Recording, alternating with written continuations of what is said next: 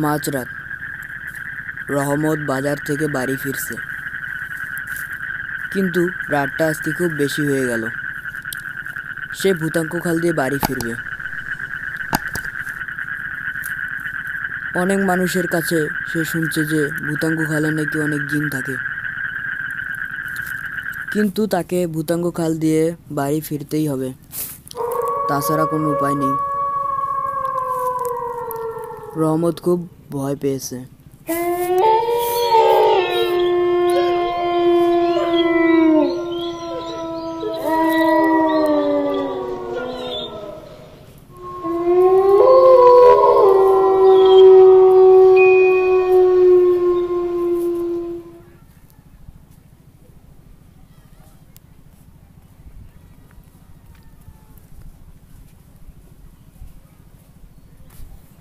রহমত একটু সামনে এগিয়ে গিয়ে দেখল যে ভূতাঙ্গ খালে একটা মাঝি নৌকা নিয়ে বসে আছে।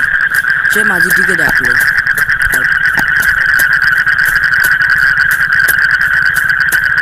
মাঝি কই যাও? টাঙ্গু কালে মাছ ধরতে।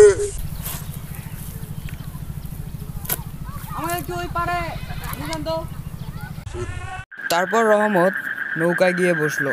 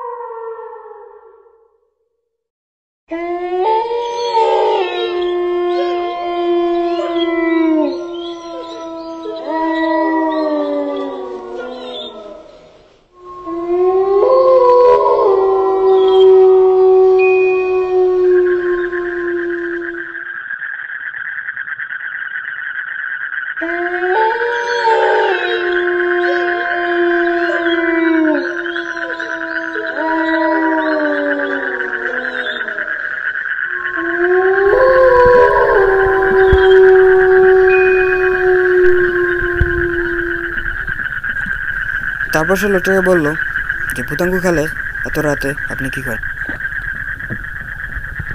এত রাতে ভূতাঙ্গ খেলে আছেন আপনার ভয় করে না? Thank you.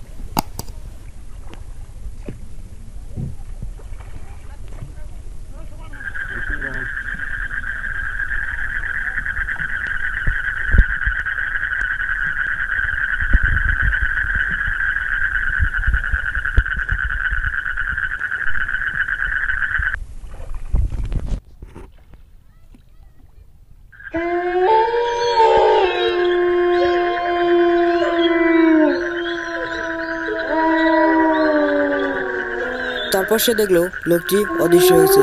লোকটিকে কোথাও দেখা যাচ্ছে না।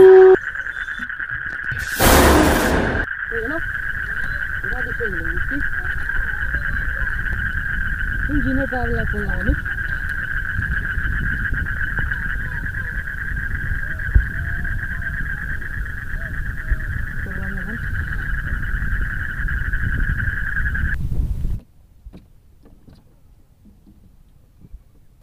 তারপর রহমত মিয়া নৌকা চড়ে বৌঠা দেওয়া শুরু করল।